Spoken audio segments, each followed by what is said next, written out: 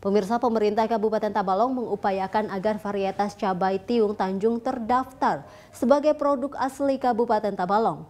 Sehingga dengan adanya penetapan tersebut diharapkan cabai tiung Tanjung dapat dibudidayakan di seluruh Indonesia.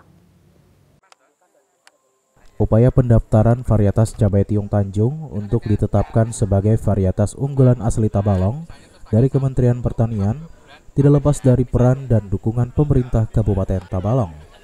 Kepala Dinas Ketahanan Pangan, Perikanan Tanaman Pangan dan Hortikultura Kabupaten Tabalong, Muhammad Mugeni menjelaskan, sejak dua tahun terakhir Pemkap Tabalong bersama kelompok tani mengajukan ke pemerintah provinsi dan pemerintah pusat agar benih varietas cabai tiung Tanjung dapat dilegalkan. Pasalnya dengan adanya penetapan tersebut, benih tersebut dapat diperjualbelikan atau disebarluaskan ke seluruh wilayah Indonesia.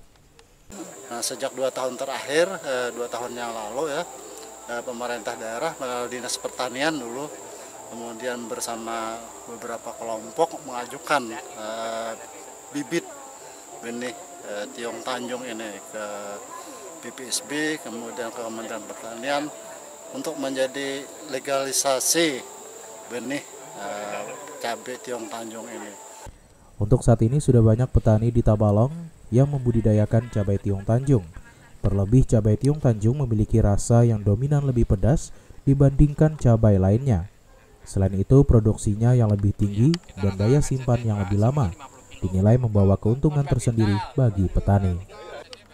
Usai melakukan uji keunggulan di lahan cabai tiung Tanjung, para tim melakukan pertemuan dengan Bupati Tabalong Anang Syafiani di ruang kerjanya. Pada kesempatan ini Bupati berharap agar proses pendaftaran varietas cabai tiung Tanjung sebagai produk asli Tabalong dapat segera terselesaikan agar nantinya dapat dilakukan penyebarluasan bibit. Jadi saya terima kasih Bu dan kawan-kawan sekalian mudah-mudahan proses ini berlangsung cepat ya sehingga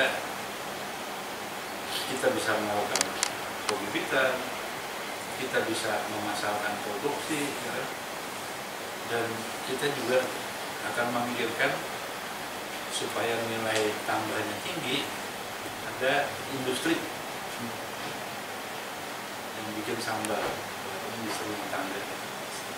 Pemkab berharap varietas cabai tiung Tanjung layak menjadi produk unggulan Tabalong dan dapat menjadikan produk varietas nasional sehingga dapat mengenalkan Tabalong ke kancah nasional. Nova Arianti, TV Tabalong melaporkan. Terima kasih sudah menonton video ini. Jangan lupa subscribe channel Tabalong hari ini dan nyalakan pemberitahuan untuk update info. Jangan lupa juga untuk like, komen, dan share videonya.